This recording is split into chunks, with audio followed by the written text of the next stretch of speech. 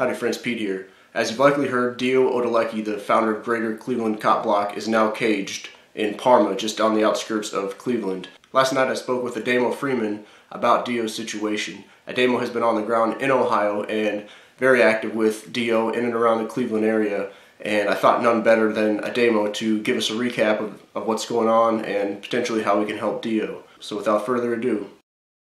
Deo Odolecki Doug Odolecki uh, is the founder of Greater Cleveland Cop Block as well as Ohio Cop Block, and and he's also assisted a number of other folks start their Ohio-based uh, offshoots. More recently, uh, he's become more active as a Cop Block Network contributor as well as taking over the duties of the CopBlock.org store.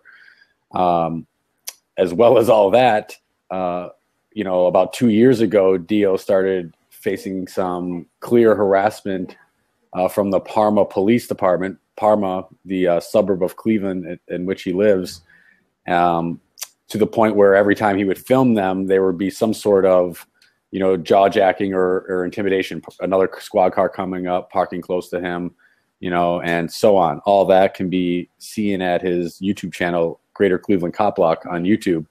Um, yet none of that ever got physical or ended in arrest until about two years ago, uh, almost three actually to the day, uh, when Deo was out cop blocking a uh, police OVI checkpoint, as they're called here in Ohio. Um, for those unaware, cop blocking a checkpoint is sometimes rather simple. You hold a sign, says turn now, police ahead, or checkpoint ahead, and uh, you would stand at the uh, first avail- the last available intersection for the motorist to turn to avoid the checkpoint. That's exactly what Deo was doing in uh, 2013, and the police upset with the, I, in my opinion, effectiveness of Deo's sign, meaning not getting many uh, motorists coming through their checkpoint, uh, which means they were not getting as much revenue for things that they uh, would normally ticket you for, like not having a license, failure to register, etc. And instead of the OVI aspect that they cloak it in, but upset about that, a couple police officers from Parma approached Deo and said he had to remove the sign at at least a bare minimum, take out or cross out the words "turn now."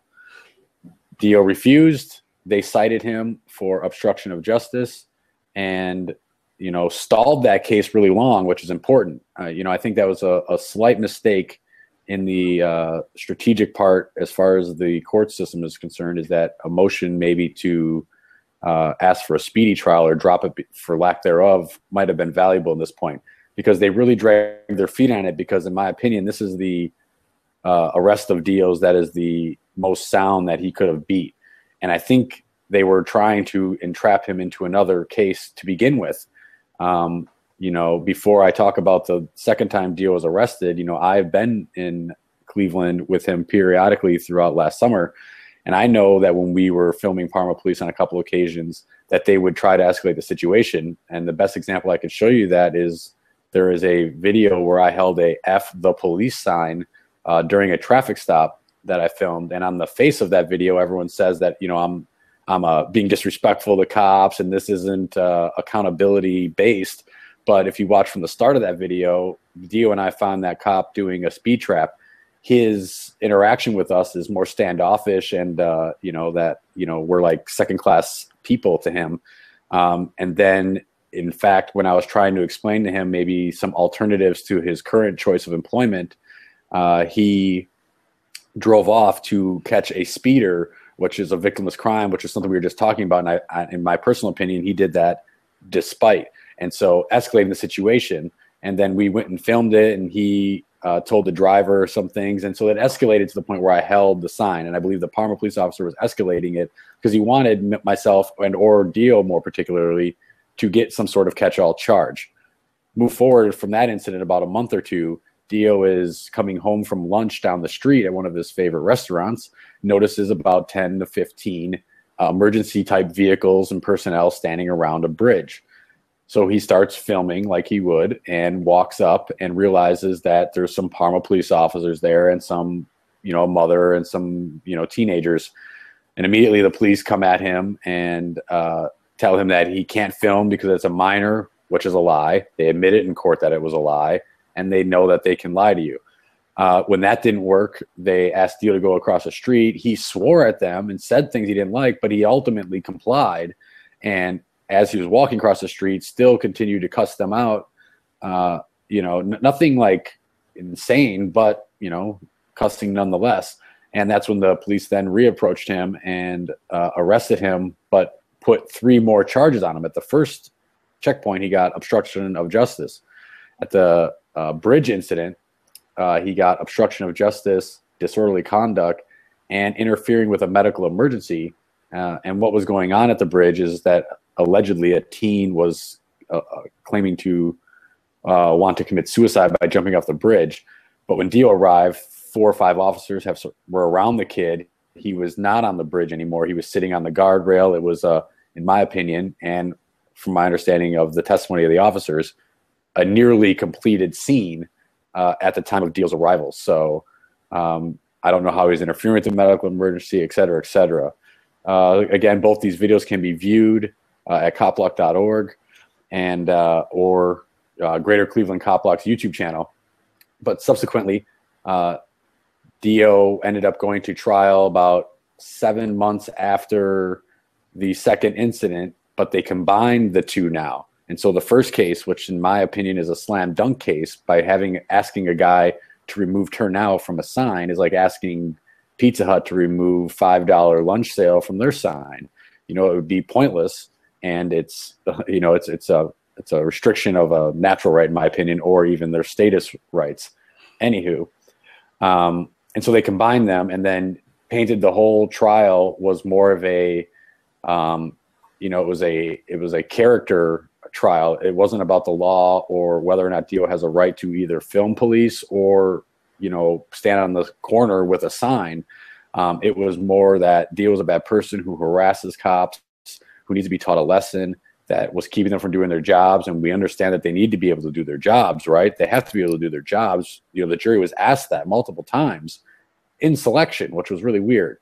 Um, and so even though it was perceived the judge was being fair in the beginning of the trial, all that doubt was taken away at the end when Deo, uh, when she gave Deo not only the max on all four charges since he was found guilty by the jury, but she ran them consecutively, which is unheard of normally for class B misdemeanors, meaning less than a year in jail is what you can face on these. Uh, less or six months or less, excuse me, is what you can face on these charges for Class B misdemeanors. So normally, if you like rob five liquor stores or break into five houses, they will give you five burglary charges consecutively because there's it's it's actually more common when there's victims, although it's not guaranteed either.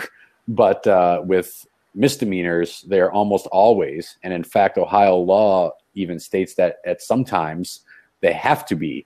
And so that's another basis of Deo's appeal that all the charges on the one day, the three charges of the one day, uh, on Ohio law, since they are misdemeanors, may have had to been run consecutive or concurrently. But that just goes to show that the judge and the prosecutors, it was all about um, protecting the boys in blue and their feelings and or their their way of business, which is you know generate revenue by violating people's rights and or you know extorting, harassing them.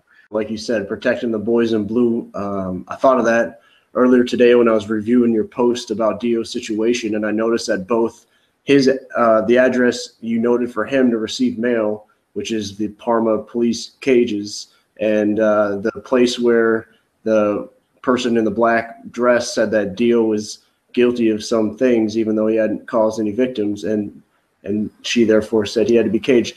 The addresses for both where that justice was supposedly wetted out and where Deo is now caged is the same. It's like the same building, and so like it just there's no no uh, you know separation. These guys all work for the same like work for the same ends, just to protect each other and grow their own spheres of influence. Yeah, yeah. The first day she like uh, got Deo a coffee, and he was like, "Wow, you know, like what other judges gotten you a coffee?" You know, and I was like, "Well, you you might just want to wait, but you know, you were you hit the nail on the head there. The courthouse, police department, and jail is all one building, and they're literally like top level, mid level, bottom level, and uh, it's sickening when you like know how it all works and you look at it like a machine. So, yeah. So you noted the uh, like I, I, guess I'm curious, what do you think could have been done differently? And I know it's you know we, we won't ever know, but uh, you, you, mentioned that maybe if Deo would have pressed to uh, have his first threat levied against him dismissed or have a speedy legal land venture, that may have then removed it.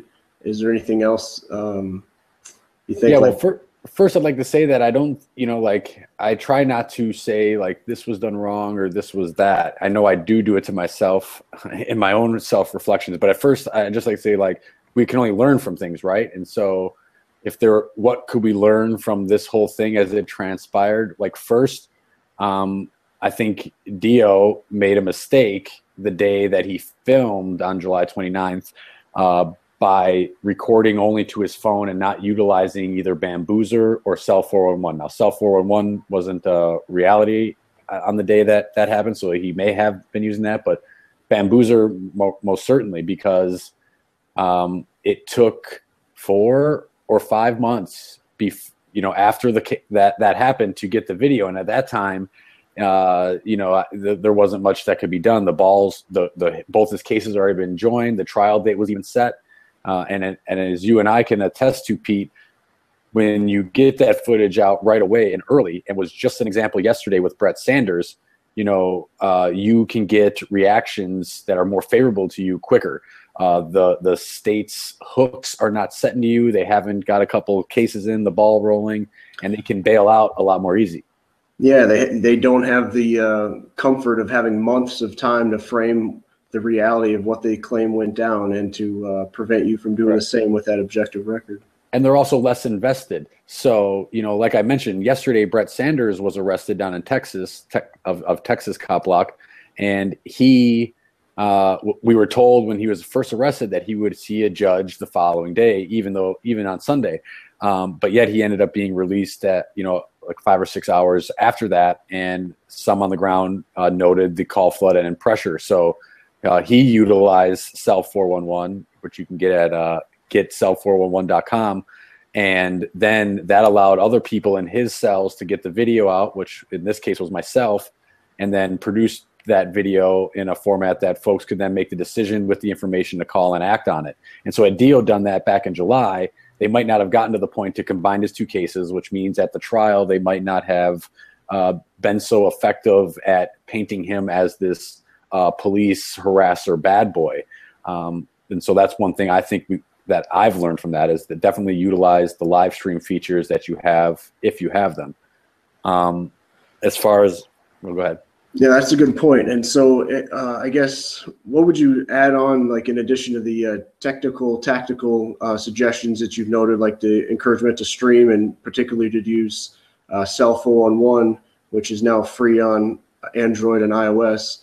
But uh, what is what is like a, the, one of the takeaways you see, or how would you see this through like a non-status lens? Like uh, you know, because Deo was supposedly said to be guilty of all these things, obstruction of justice, but in reality, it was him who was like victimized by these, you know, who was who had his rights violated. His property was stolen. He was he was kidnapped and caged, and uh, you know, I, I guess is do you have any takeaways? Has this case like caused you to think any different or just reinforce your thoughts on that sort of an angle?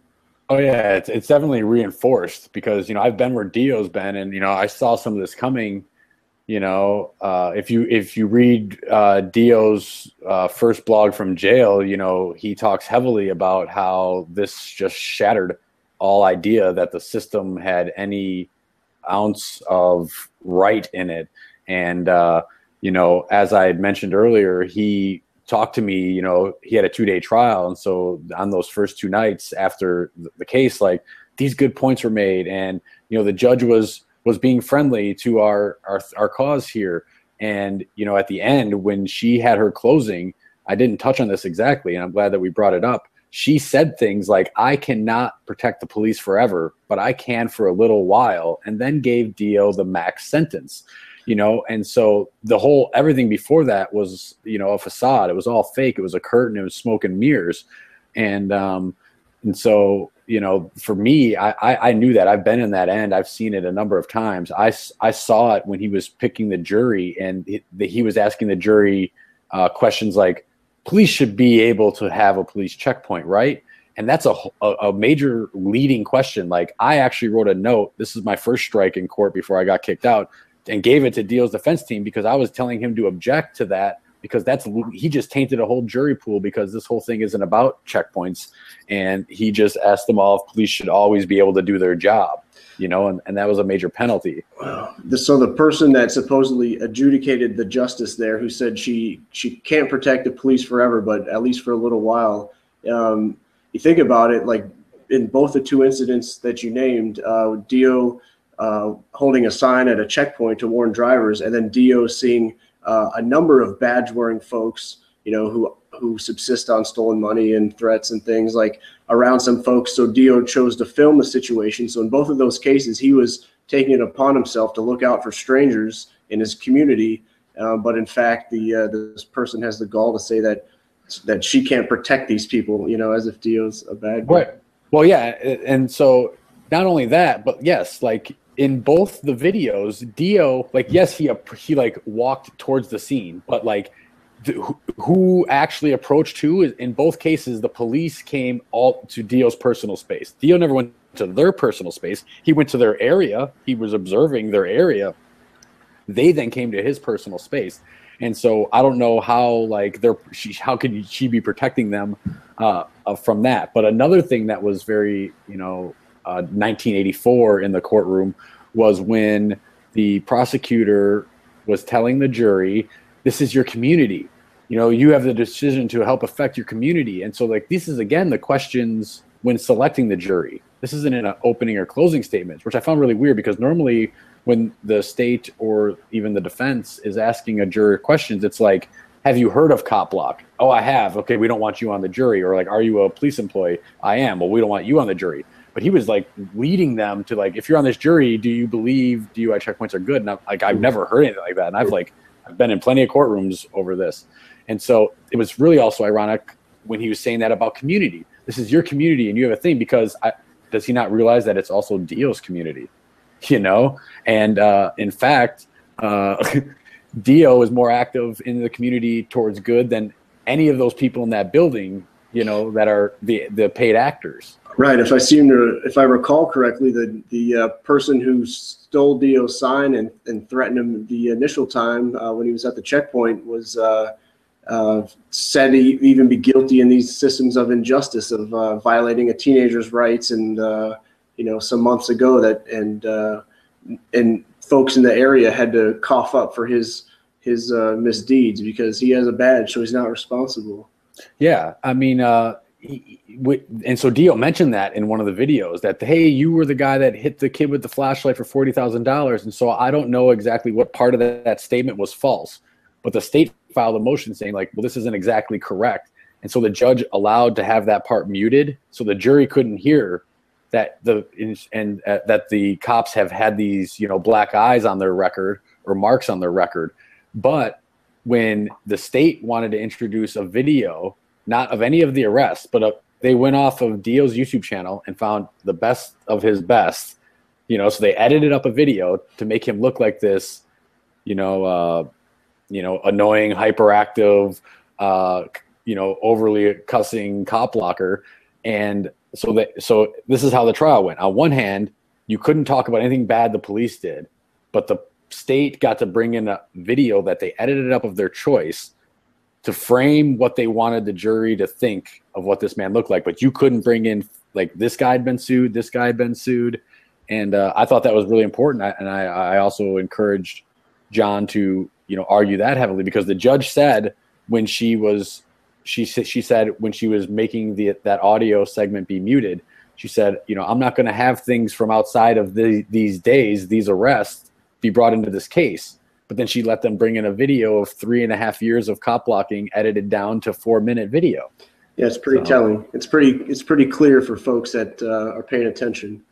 Right, and so you know, t- since we talked about a couple of things that were bad, you know, I think that would be one of the things that were good, and it's what I've been telling Deo while in jail. Like you might go through a lot of these hardships, and yet uh, I believe it's been well documented. Many sources have talked about Deo and his you know, insane uh, sentence. uh, folks, I think, will read this story and come to the conclusion that you and I are discussing that all of this was a farce. It wasn't about justice. I mean, if they really wanted to lock him up, why didn't they do it three years ago and he could have got got it done with? You know, it's kind of like Brian and I advocated in Noblesville during our arraignment. You know, forget your pleas, forget your sentencing and your bonds. Like, if you think I should be in jail, tell me for how long and shut the door today. Mm. You know, like because it's stupid. If it's either that cut and dry or this is all just a, a farce. And so, you know, this story, as opposed to some in the past, much better documented. Uh, Deo is continuing to document also from the inside with his first jail blog. I got another one about double standards to write and uh, his, uh, you know, the usual uh, jail hypocrisies. And so, uh, and people will learn to see that the system isn't, you know, doing what it purports. So, though Deo is caged, it sounds, uh, I think you told me that he can get visitors uh, most days. Is that correct? Do you want to maybe let viewers know if uh, they're within driving distance of Parma and they want to go stop by and, and chat sure. with Deo? The best way to tell you, and the quickest way, would just be to simply Google Parma. Dis, excuse me. Simply Google Parma Detention Center, and it'll pop up. And then right there on the when you click that top link, uh, there'll be an FAQ at the, the, top right, and it'll tell you the hours, which are basically the same, but it's uh, Saturday, Sunday they have visits, and then Tuesdays and Thursdays. And um, but it has all the information, the ID you'll need. Show up a half hour early in case you don't uh, remember this. Parma Detention Center FAQs. Uh, it's also linked in the main blog, uh, which I can't remember the short URL off the top of my head for. It. Yeah, it's cool. it might be Deo's arrest or or jail. I can't remember. Yeah, I'll uh, I'll link to that in the video description, and uh, I guess I would also uh, say if folks are not within driving distance, um, there, there's also he can get snail mail. So if you want to send him a letter or just send him some love, I think you'd appreciate that. Yep. And so right now his case just sits that he's uh, it's the appeal has been filed. Uh, they're hoping to have a hearing that will allow the appeal the appellate court to put him out on bond again because of the duration that it will take to finish the appeal will be longer than his sentence is, even though his sentence is uh, extremely long for the charges, um, it won't. Uh, it will. It will be shorter than the appellate court. Than the swift. So, than the swift gears of justice. exactly. And so we'll see how that goes. Um, but other than that, um, you know, there might be a legal defense fund that will be raised uh, coming in the in the beginning of next month, um, and uh, that will be done from Deo's attorneys directly and so they'll they'll create a GoFundMe page, and then I'll kind of put together uh, how you can help Deo blog at the website. And like Pete mentioned, uh, you can write him um, letters or be on the lookout for a a sign wave and b the uh, first checkpoint that uh, Parma police have this year. Uh, we'll be there to cop block it because there's no way holding a sign that says "turn now" is illegal, and so it's my understanding that Deo's in a pod all by himself. So maybe 50 cop blockers can show up with turn now signs and bring him some company.